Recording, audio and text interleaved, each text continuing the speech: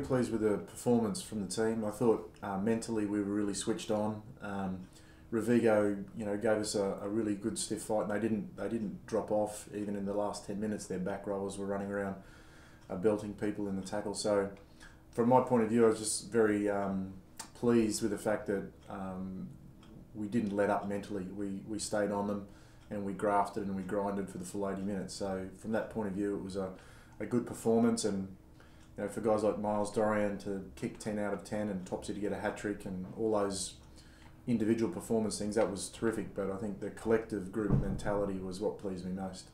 The net effect from the big performance yesterday means there's a, a lot of lot more competition for spots. Um, so the you know the, the so-called backup players have really put a marker down, and um, it's given me selection headaches for probably the first time this season really um, because once we got into that first role of that first block of games, we were going quite well and there was no real need to, to tinker too much.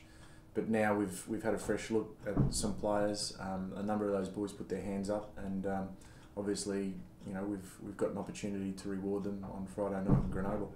Yeah, Grenoble are a very good team. Um, uh, we had a, a, little bit of a look at them in the pre-season uh, when we were over there um, when we played Montpellier, they played uh, Harlequins. Um, so we we understand the, the, the terrain, so to speak. Uh, we've got a lot of respect for what they've done so far. They're in the top six in the in the top fourteen. So you don't get there by mistake. Uh, they've taken a lot of big scalps, and as you say, they're unbeaten at home. So it'll be a big challenge for us. But um, if we're to do anything in this competition, um, we're going to need to win, um, and we're going to need to to win on the road, um, and that's uh, you know that's crucial for us to, to take the next step forward.